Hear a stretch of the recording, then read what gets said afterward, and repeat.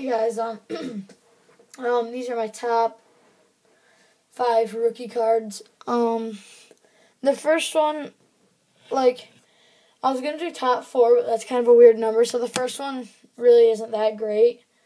I mean, it's it's pretty cool though. Um, Yu Darvish, just the simple Topps. All right, these ones are pretty cool. Um, I pulled this myself. Bryce Harper, Platinum Rookie. Um, all the scratches are on the top loader. It's not on the card, and the top three are really sweet. I just put them in magnetics. Um, usually they're in the book, but I don't know. All right, number three, 2012 Bowman Platinum Prospects. Bought this for 50 cents. Manny Machado Chrome. Bowman Platinum Prospects. Pretty sweet. Whoa. Alright, um, number two. Um, number two. Mike Trout rookie from Bowman.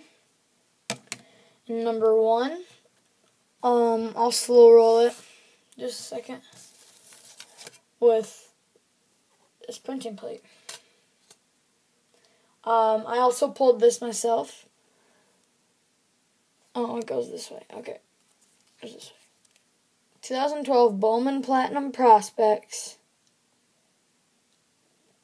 Baltimore Orioles. Dylan Bundy. This is just so sick. I really, really, really like this card. Um, it would have been cool if it was one of the chrome in, or insert backgrounds, but still, Bowman Platinum Prospects. Uh, I was so psyched when I pulled this. Um, it's pretty sweet. Um, so alright, let me know. Uh, these two, I guess, are for trade if you really want them. Well, yeah, no, not this one. Is my only one now, but these three are not for trade. The Bundy, Trout, and Machado. I'm going to get another one of the Machados.